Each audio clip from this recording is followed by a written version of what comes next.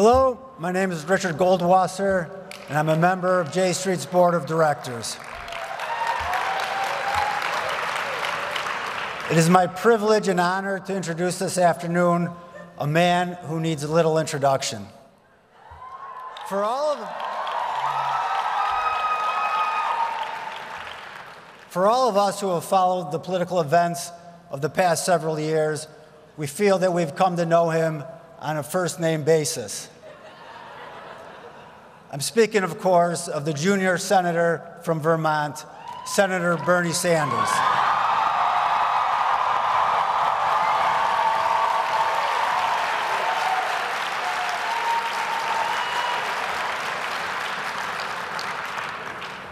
During the course of the senator's presidential campaign, I heard from many who described how his old school, Jewish inflected Brooklyn accent reminded them of their uncle or grandfather, a familiar and passionate voice, ready to impart important lessons and take on tough argument. For me, as a Jewish Chicagoan, it wasn't how Senator Sanders spoke, it's what he was saying that recalled an earlier generation in my family. His dogged and principled advocacy for the rights and dignity of working people and average Americans reminded me of my grandparents and uncle, all labor lawyers and union organizers in Racine, Wisconsin.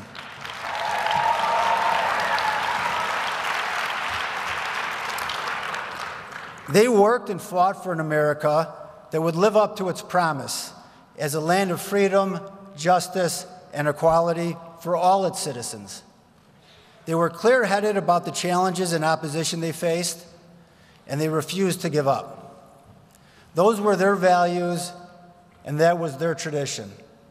It's Senator Sanders' tradition, and it's our tradition too.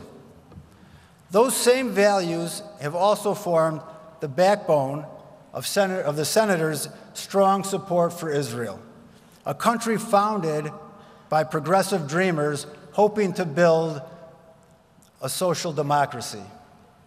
And they have driven him to provide strong support for U.S. leadership towards a two state solution.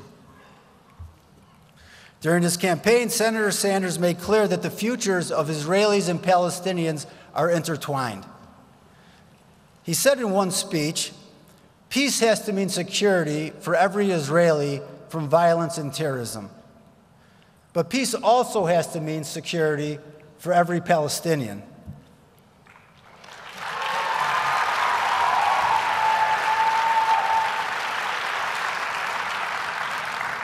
It means achieving self determination, civil rights, and economic well being for the Palestinian people.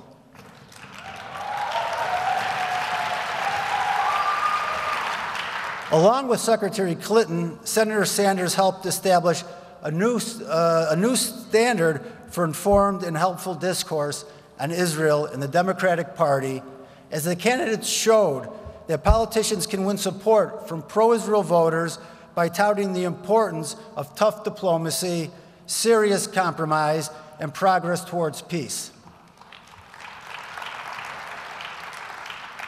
In this difficult new era we have entered, we know that Senator Sanders will be an important voice standing up to dangerous and bigoted policies and standing up for leadership that benefits all Americans and holds true to our democratic values at home and abroad. It is my honor to welcome to the stage Senator Bernie Sanders.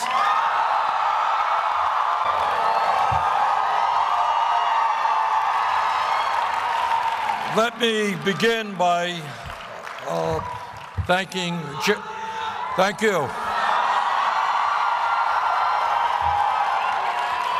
Let me begin by thanking J Street for inviting me to be with you here today.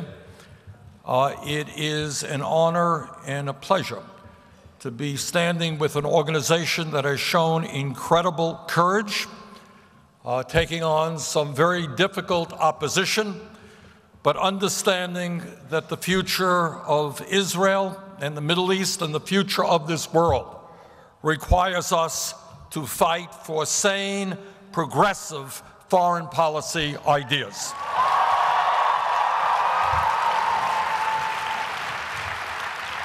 And I'm further delighted to be in the company of friends from Israel and from the all over the Middle East, uh, and in fact all over the world, who I know in these very challenging and difficult times will continue the fight for a world of peace, a world of justice, and a world of environmental sanity.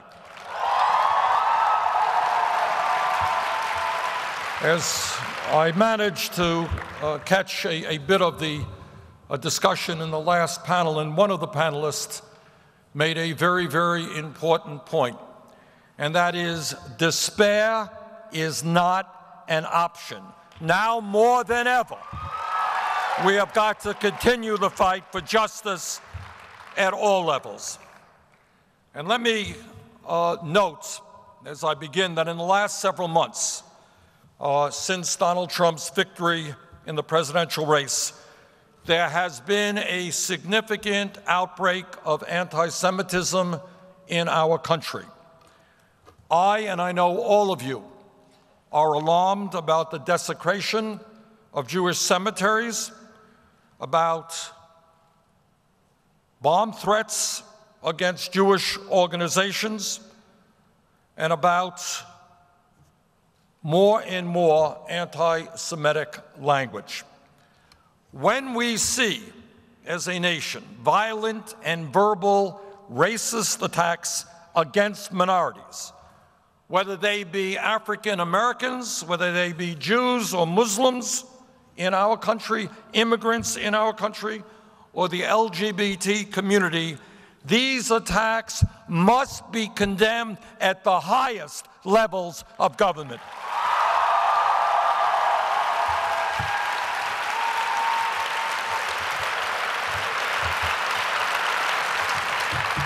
It was rather extraordinary that in the White House's Holocaust Remembrance Day statement, the murder of six million Jews was not mentioned by the Trump administration. I hope very much that President Trump and his political advisor, Mr. Bannon, understand that the entire world is watching that it is imperative that their voices be loud and clear in condemning anti Semitism, violent attacks against immigrants in this country, including the murder of two young men from India.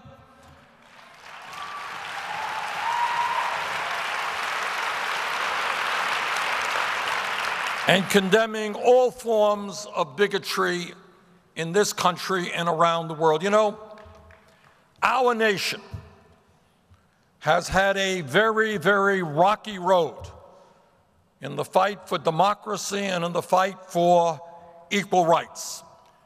And we have struggled from the inception of this country to fight against racism, to fight against sexism, to fight against xenophobia and homophobia.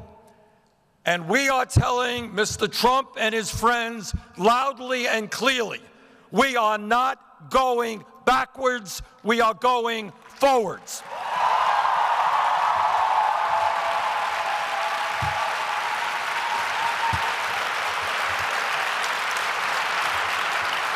We will continue to fight against all forms of bigotry and discrimination.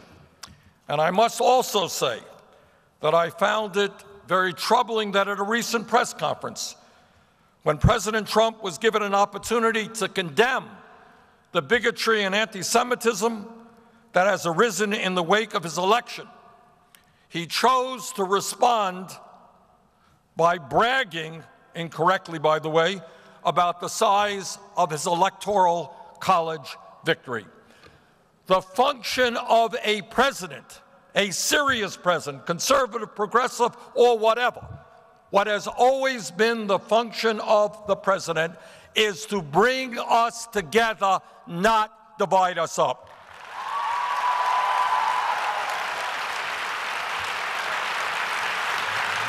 Let me take this opportunity to thank J Street for the bold voice that they have provided in support of American leadership in the Middle East and ongoing efforts toward peace between Israelis and Palestinians. I understand, and you understand, that given the political climate in this capital, that has not always been easy. I also applaud J Street for being part of a broad coalition of groups that successfully fought for the historic nuclear agreement between the United States and its partners in Iran.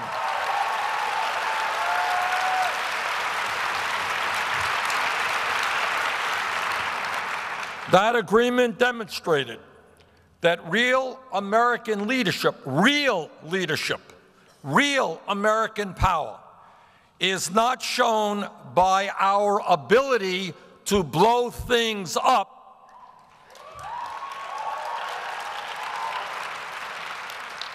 but by our ability as the leading and most powerful nation on earth to bring parties together, to forge international consensus.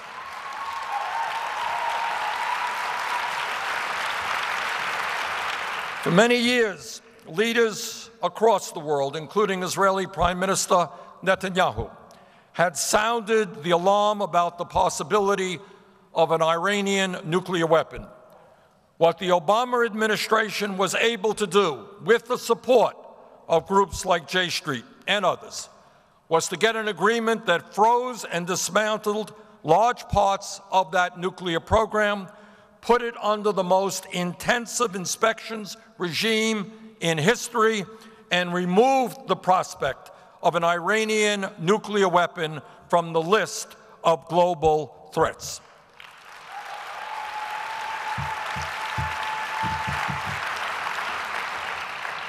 As a member of the United States Senate, as I'm sure you appreciate, I hear a whole lot of speechifying.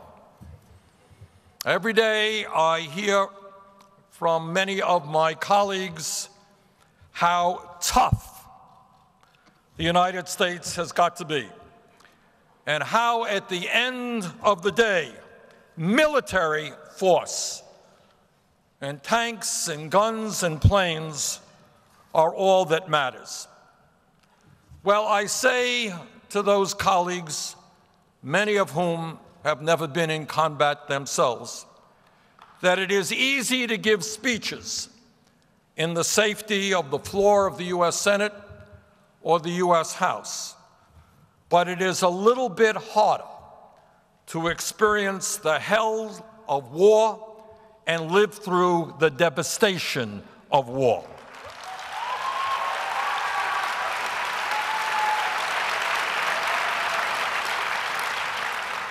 I recall vividly, because I was in the House at the time, about all of the rhetoric that came from the Bush administration, that came from my Republican colleagues and some of my Democratic colleagues about why going to war in Iraq was the right thing to do. Well, it wasn't. In fact, it was one of the great tragedies of modern world history.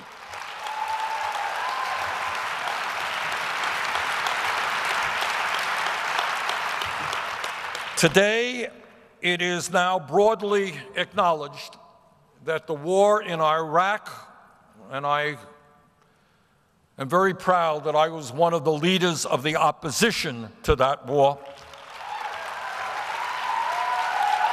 It is widely acknowledged that that war was a foreign policy blunder of enormous, unthinkable magnitude. The war in Iraq led to the deaths of some 4,400 brave American soldiers and the wounding and I speak as the former chairman of the Senate Committee on Veterans Affairs, the wounding of tens of thousands of others, both physical and emotional. Not to mention the pain inflicted on the families, the wives, and the children of the men and women who suffered. The war in Iraq led to, conservatively speaking, the deaths of over 100,000 Iraqi civili- civilians and the wounding and displacement of many times more than that, more, more people than that. It created, as you all know, a cascade of instability around the region that we are still dealing with today in Syria and elsewhere, and we will be dealing with that for many years to come. And by the way, that war in Iraq cost us trillions of dollars, money that should have been spent on health care, education, infrastructure, and environmental protection. In other words, in other words, it is easy to give a powerful speech about why we have to go to war, but it is far more important that we do everything that we can to solve global conflicts without going to war.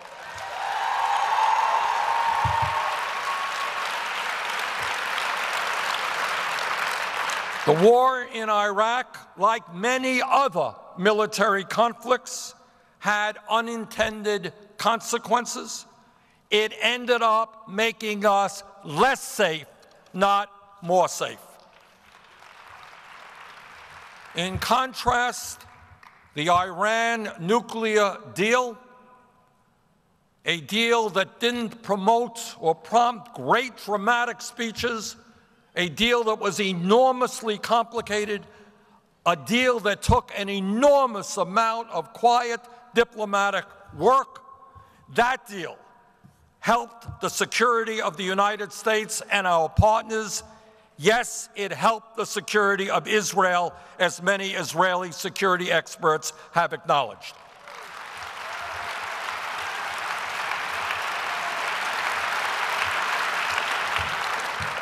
That is the power of diplomacy.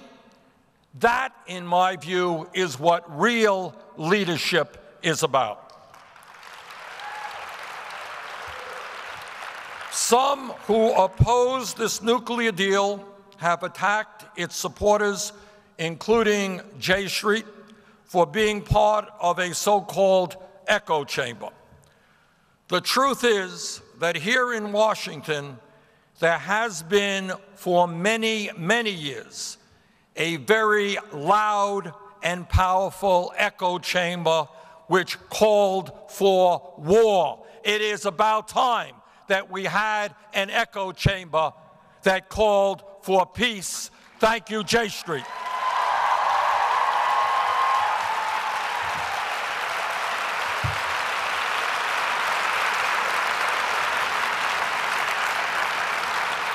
As some of you may know, a few years ago when I was a young man, I had a connection to the state of Israel in the sense that I lived on a kibbutz for many months in Haifa. And it was a very powerful experience for me, something that I will never forget. It was there that I saw and experienced for myself many of the progressive values upon which the state of Israel was founded. I think it is important for everyone, but particularly for progressives, to acknowledge the enormous achievement of establishing a democratic homeland for the Jewish people after centuries of displacement and persecution and particularly after the horrors of the Holocaust.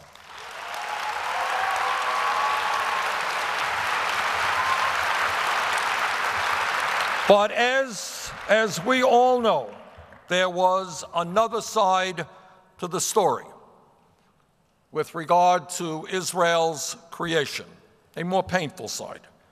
Like our own country, the founding of Israel involved the displacement of hundreds of thousands of people already living there, the Palestinian people. Over 700,000 people were made refugees. To acknowledge this painful historical fact does not delegitimize Israel any.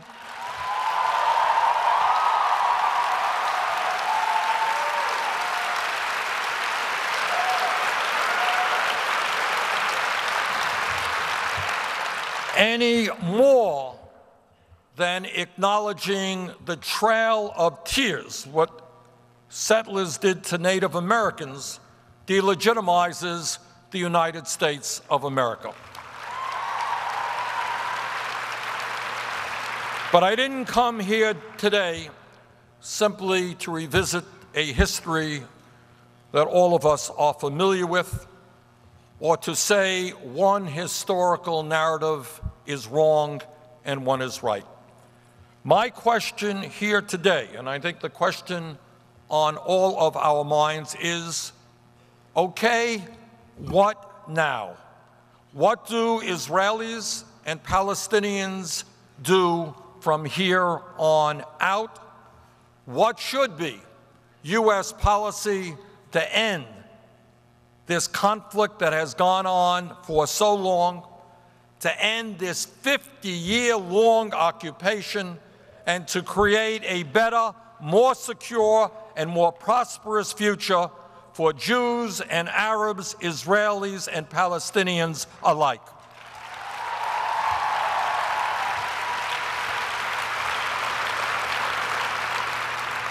As I think all of you know, this decades long conflict has taken so much from so many. Nobody gains when Israel spends an enormous part of its budget on the military. Nobody gains when Gaza is obliterated and thousands are killed, wounded, or made homeless. Nobody gains when children, children and young men and young women are trained to become suicide bombers. Nobody gains when year after year, decade after decade, the talk is about war and hatred rather than peace and development.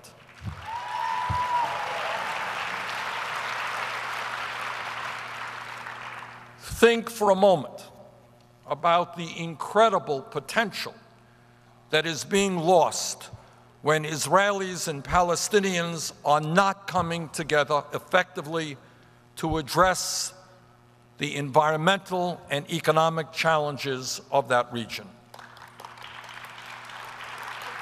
And I will remember some years ago, I got a small sum of money,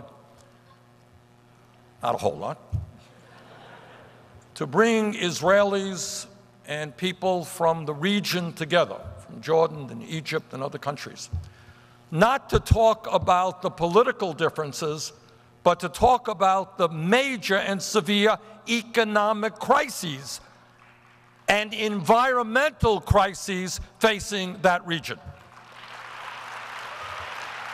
And it was really a beautiful moment to be in a room where sensible people we're focusing on the water crisis in that area, how we provide water to people, the future of water. And that has got to be what our goal is. Our goal is bringing people together in the region to solve the very serious problems that they have.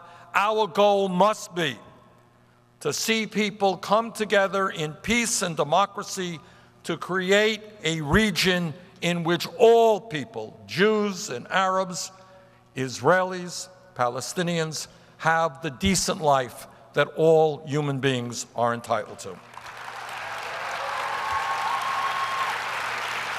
Now, I am not naive. I am not naive. And I understand that given the realities of today, that vision, a vision where people come together in the Middle East to focus on the serious environmental, economic, and social problems that exist. I understand that today that vision appears distant and to some may be far fetched. But it is a vision, especially in these difficult days, that we cannot afford to give up on.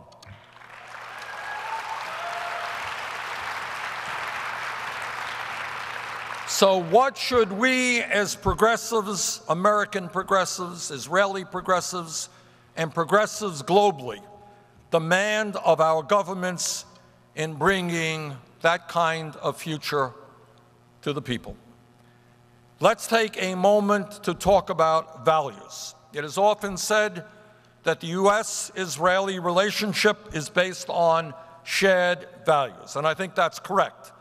But then we have to ask ourselves what do we mean by shared values? What values are we, in fact, talking about? As progressives, here are some of the values that we share in this country and around the world. We believe in democracy. We believe in equality. We believe in pluralism. We are strongly opposed to xenophobia. We respect and we will protect the rights of minorities.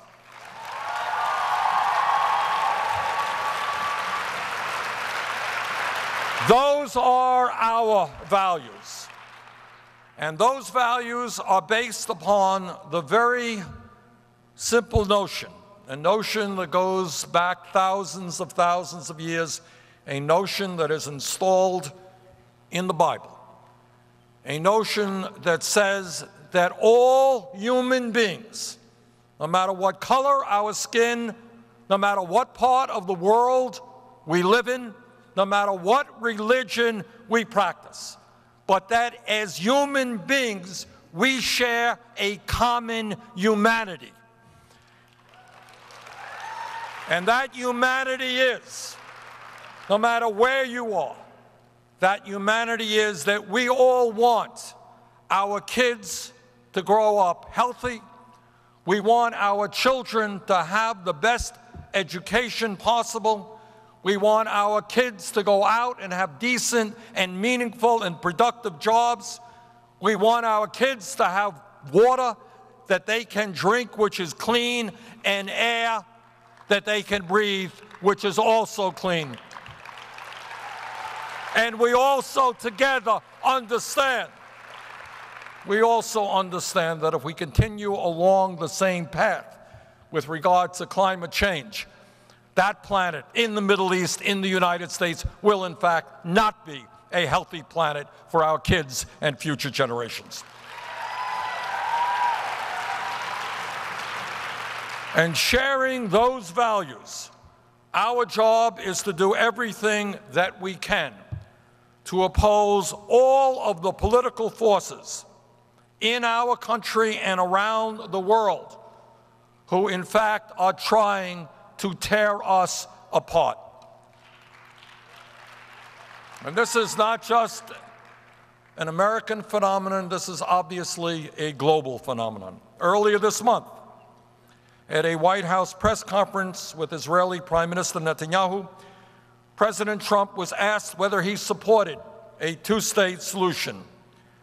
His answer was, quote, I am looking at two-state and one-state and I like the one that both parties like, end quote. Well, I think he was thinking that maybe he was being asked whether he liked Coca Cola or Pepsi Cola better. That is not the answer that an American president today should have been giving.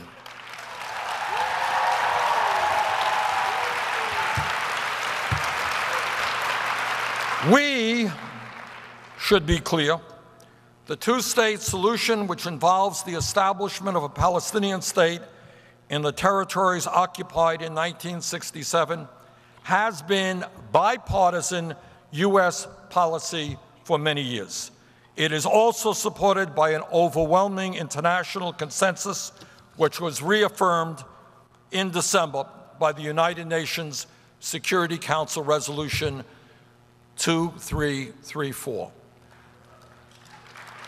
Now, while I understand that the Trump administration has walked that statement back, the casual manner in which President Trump appeared to abandon the two state policy was extremely concerning, but also unfortunately typical of the carelessness with which he has managed American foreign policy thus far.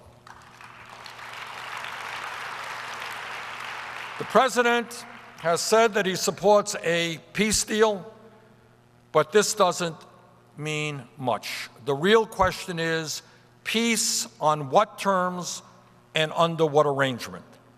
Does peace mean that Palestinians will be forced to live under perpetual Israeli rule in a series of disconnected communities in the West Bank and Gaza? That is not tolerable, and that is not peace.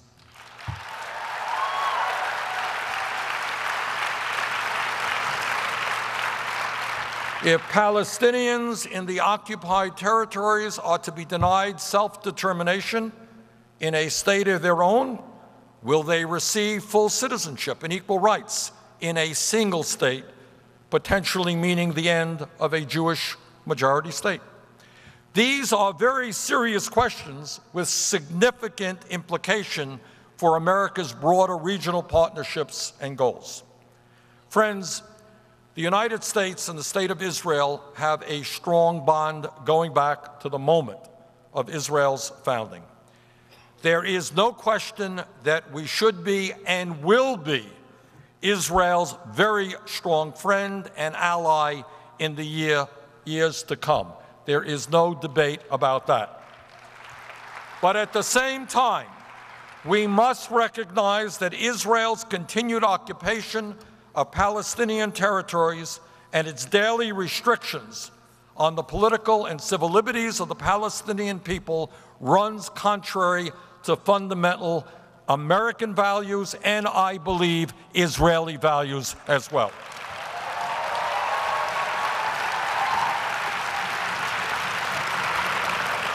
As former Secretary of State John Kerry rightly said in his speech in December, and I quote, Friends need to tell each other the hard truths, end quote. And the hard truth is that the continued occupation and the growth of Israeli settlements that the occupation sustains undermines the possibility of peace. It contributes to suffering and contributes to violence. As the UN Security Council reaffirmed on December 23rd, the settlements also constitute a flagrant violation of international law. I applaud the Obama administration's decision to abstain from vetoing UN Security Council resolution.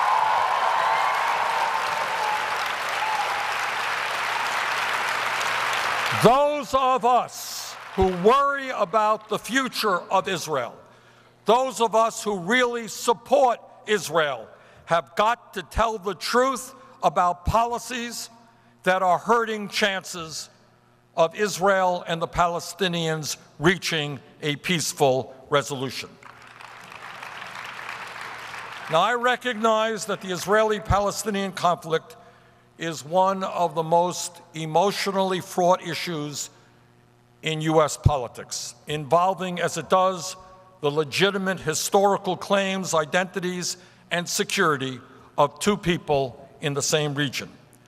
So let me be as clear as I can be. To oppose the policies of a right wing government in Israel does not make one anti Israel or anti Semitic.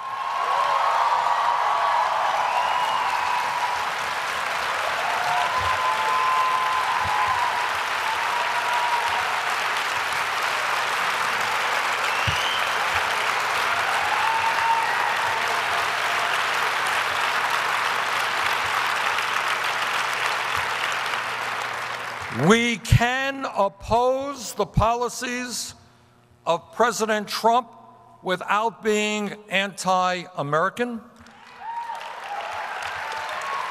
We can oppose the policies of Netanyahu without being anti Israel. We can oppose the policies of Islamic extremism without being anti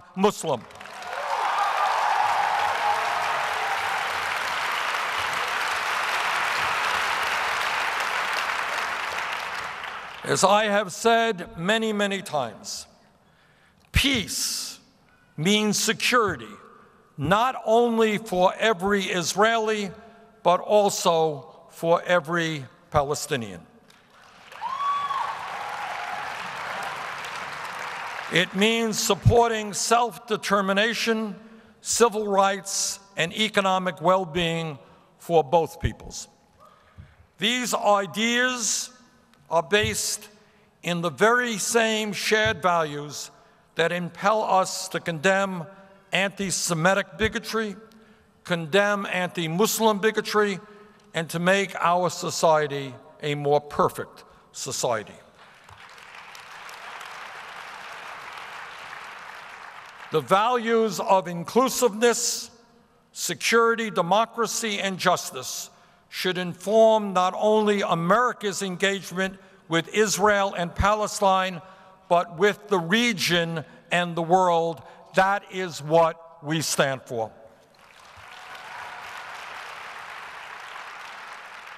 The United States will continue its unwavering commitment to the safety of the State of Israel, but we must also be clear that peacefully resolving this conflict is the best way to ensure the long term safety of both peoples and for making America more secure.